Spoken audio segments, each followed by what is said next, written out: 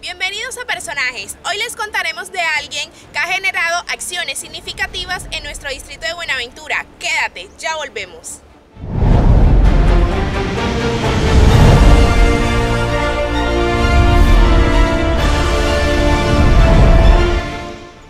Hoy hablaremos de Rosmilda Quiñones Fajardo.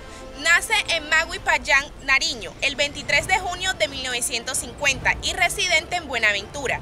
Es partera tradicional y auxiliar en enfermería del Instituto para el Desarrollo Integral de la Salud y de INSA Palmira 2007.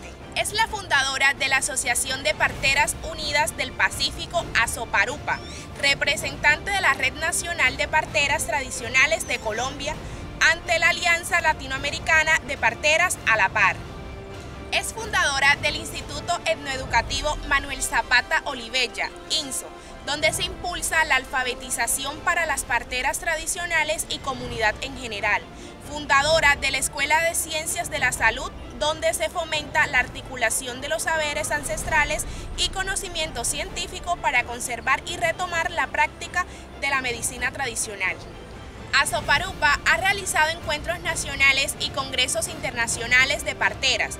Crea la Red Nacional de Parteras Tradicionales, red que cuenta con el respaldo de las parteras coordinadoras de las redes latinoamericanas. Uno de los grandes logros de Azoparupa ha sido la inclusión de la partería tradicional de Buenaventura en la lista representativa del patrimonio cultural inmaterial de la nación para la posterior elaboración del Plan Especial de Salvaguardia de la Partería. Rosmilda Quiñones ha generado acciones significativas en nuestro distrito de Buenaventura. Por tal, merece reconocimiento. Mañana contaremos con otro personaje. Quedan invitados. Toma tu like. Buenaventura.